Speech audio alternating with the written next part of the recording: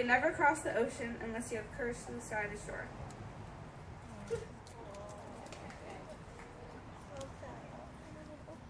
Christopher Columbus. seven years, I think. Seven years I've been a student at this school. Those seven years were full of, full of support and acceptance from this loving community. My name is Bella, and over these seven years I've made several observations. One, learn from your mistakes.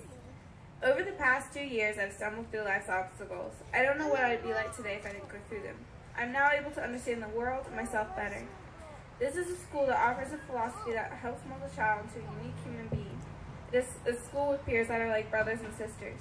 It is a school with teachers that are emotionally stable and offer perspective that I can, I can fall back on.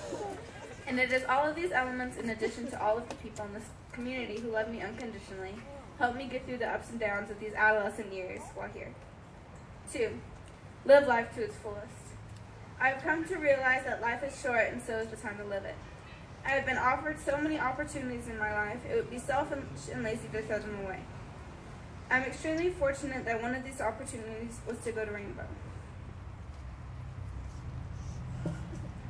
I've grown confident and determined from the construction, constructive criticism and guidance provided by this school.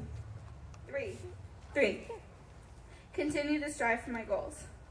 Continuing to strive, for my goals consists of me going into the world and experimenting with my knowledge and testing my limits. I believe in becoming a well-rounded person and taking on many interests because it proves that you are noteworthy and capable of juggling many responsibilities. Never giving up so that you are competent, aggressive, persistent, skilled, experienced, and knowledgeable.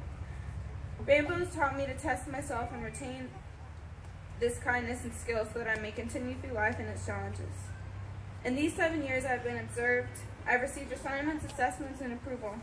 I will walk away aware of all that I take with me, these little bits of gold that I will walk away with are that which I will use to navigate the uncharted waters before me and seek my fortune.